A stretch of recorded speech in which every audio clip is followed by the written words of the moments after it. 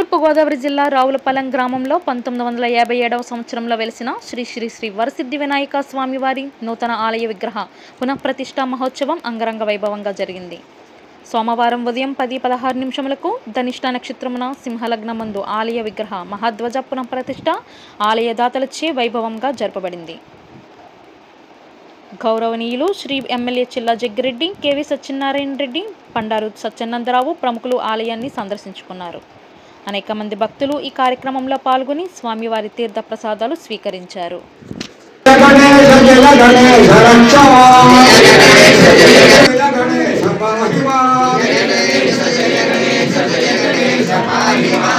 Ganesha Jaya Ganesha Jaya